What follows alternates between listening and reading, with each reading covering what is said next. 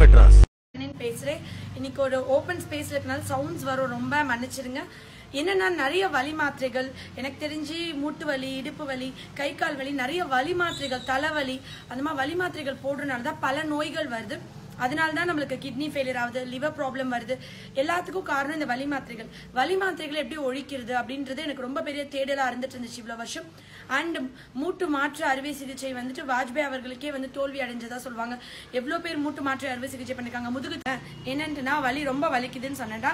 என்ன அப்படின்னு சொன்னா ஒரு பழம். அந்த பழத்தோட தோல் எடுத்து அதை வந்து நான் வந்து தேய்ச்சி விட்டுட்டே இருந்தேன்னா வலி நீ வலி போயிடும் அப்படின்னு சொல்லிட்டு எனக்கு அப்பா அன்றைக்கி ஆக்சுவலி ரொம்ப தூரம் நான் கார் ஓட்டிட்டு போயிட்டு வந்துட்டு கிளினிக்லாம் முடிச்சு ரொம்ப டயர்டாக வந்து எனக்கு உங்களுக்கு எங்கேயா வலிக்குதாங்க எனக்கு பேக் பெயின் இருக்குன்னு சொன்னோன்னே அவங்க அதை தேய்ச்சி விட்டாங்க. மறுநாள் எனக்கு அந்த வலியே சுத்தமாக இல்லை.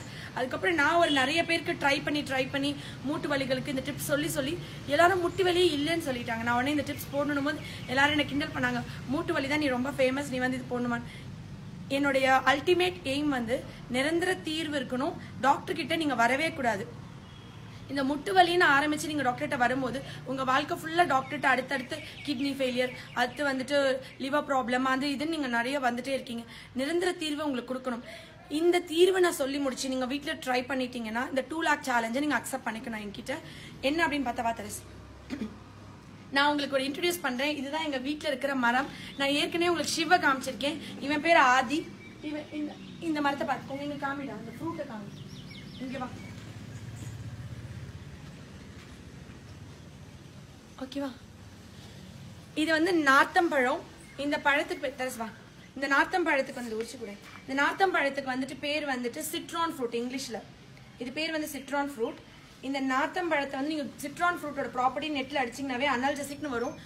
கிட்டத்தட்ட நாலாயிரம் இப்படி தேய்ச்சிட்டே இது அப்சர்வ் ஆகுற வரைக்கும் தேய்ச்சிட்டே இருந்தீங்கன்னா இங்க தானே உனக்கு இந்த கை தான் தர சொல்லிச்சு ஆமா இந்த கை தான். இந்த இந்த இடத்துல. இந்த இடத்துல தெரசா கணக்கு சுலுக்கிக்கிச்சுன்னு சொன்னா இங்க தான் வலிக்குது நான் இந்த இடத்துல தேய்ச்சி எடுத்து விடுறேன் தெரசா. இங்க கட்டியா வீங்கி இருக்கு பாத்தீங்களா? இந்த இடத்துல வந்துட்டு இந்த இடத்துல வந்து இப்படி தேய்ச்சிட்டே இருக்கணும். இப்படி தேய்ச்சிட்டே இருந்தால் அந்த பெயின் போயிடும் அதுக்கப்புறம் முட்டி வலிகள்னா பாத்ரூமில் வந்துட்டு நிறைய பேர் வந்து குத்த வச்சே உட்கார முடியல அப்படின்னு சொன்னவங்களுக்குலாம் ரெண்டு நாள் இதை தேய்ச்சிட்டு நான் பாத்ரூமில் குத்த வச்சு உட்காந்து இந்தியன் டாய்லெட்டில் நான் டாய்லெட் போகிறேன்னு நிறைய பேர் சொன்னாங்க. எனக்கு ரொம்ப ஹாப்பியாக இருந்துச்சு. இந்த இது இந்த- இந்த மாதிரி பண்ணிகிட்டே இருந்தால் முட்டி வலி இடுப்பு வலி உட இந்த பழம் தான் இதை வந்து கொலஸ்ட்ரால் குறையும் பிபி குறையும். அதுக்கப்புறம் வராது. அந்த மாதிரி இதுக்கு நிறைய ப்ராப்பர்ட்டி இருக்கு. மோஷன் பிரச்சனை வரும். கேன்சருக்கு ரொம்ப முக்கியமான மருந்து. இது வந்துட்டு தலைவலி இருக்கவங்க ரெகுலராக இதை சாப்பிட்டே வந்து தலைவலி போயிடும் தலைவலி இருக்கும்போது இதே மாதிரி இந்த ஜூஸை தலையில் அமுக்கிட்டு இது பண்ணலாம். இந்த தோலை வந்து போட்டு சுடுதண்ணில் ஆவி பிடிச்சு ஃபேஸ் வாஷ் பண்ணிட்டு இந்த தோலை போட்டு ஆவி பிடிச்சு நல்லா கொதிக்க வச்சுட்டு ஆவி பிடிச்சா ஃபேஸில் க்ளீன் ஆகி ஃபேஸ் ஷைனிங் வரும். பல பல பாகும் நானும் தெரிசவும் ட்ரை ட்ரை பண்ணலான்னு இருக்கோம் இந்த டிப்ஸை கண்டிப்பாக ஆவி பிடிக்க நாங்கள் பிடிச்சதில்லை பட் மிச்சம் எல்லாமே நாங்கள் பண்ணியிருக்கோம். இதில் ஜூஸ் போட்டு குடிக்க சொன்னேன்னு உப்பு போட்டு குடிச்சீங்கன்னா கிட்னி ஃபெயிலியர் ஆகும். எந்த இதுலயும் உப்புள்ள பண்டம் வந்து குப்பையிலே உப்பு நீங்க போடவே கூடாது. உப்பில்லா பண்டம் குப்பையில இருக்கல உப்புள்ள உடம்பு குப்பைக்கு போயிடும் ஸோ நீங்க சால்ட் ஆட் பண்ணக்கூடாது. இந்த இது வந்துட்டு என்ன பண்ணணும்னா நீங்கள் வந்துட்டு சும்மா பிளெயினாக ஃப்ரூட்டாக சாப்பிடலாம் ஸ்நாக்ஸாக கொடுக்கலாம் பிள்ளைகளுக்கு. இல்லை நீங்கள் ஜூஸாக போட்டு குடிக்கலாம் பட் சால்ட் சுகர் எதுலேயுமே ஆட் பண்ணாமல் பிளெயினாக குடிச்சு பழகுங்க. இதில் வந்துட்டு நிறைய இன்னும் ப்ராப்பர்ட்டிஸ் இருக்குது இம்யூனிட்டியை பூஸ்ட் பண்ணும் விட்டமின் சி இருக்கு. போன்ஸ்க்கு நல்லது. நோய் எதிர்ப்பு சக்தி கூட்டும். அதுக்கப்புறம் தலைவலிக்கு ரொம்ப நல்லது. கேன்சருக்கு நல்லது. மோஷன் பிரச்சனை வராது. கேன்சர் வரவே வராது. எல்லாத்த விட ரொம்ப முக்கியம்.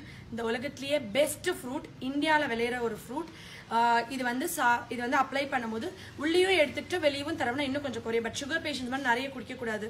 இதில் என்ன கலரிஸ் கூடிரும். அதுக்கப்புறம் நான் சொல்லக்கூடிய முக்கியமான டூ லேக் சேலஞ்ச் என்னன்னா இதை பார்த்து நீங்கள் இந்த பழத்தை எடுத்து உங்கள் வீட்டில் இருக்கிற பெரியவங்களுக்கு யூஸ் பண்ணி வலி குறைஞ்சிச்சுன்னா நீங்கள் ரெண்டு லட்சம் மரம் நடுறதுக்கு எனக்கு உதவணும்.